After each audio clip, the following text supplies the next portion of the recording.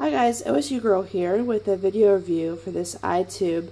It is the world's um, first scrunchable multi-use bottle. Uh, so here it is. This is what came in that box. So as you can see, it definitely um, folds up and is very easy um, to take with you. So I like this because I am green and I really hate using anything um, like a, a, regular water bottle or like that's plastic that goes away. So just wanted to show you um, after I fill this up.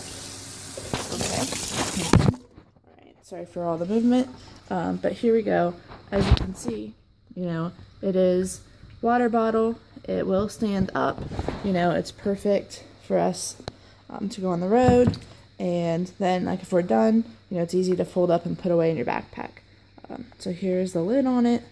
Uh, it's got the carabiner clip, so really um, you can put it on the outside of your backpack, you name it, it's ready to go. When I'm done with it, I can just let it air dry and use it for next time.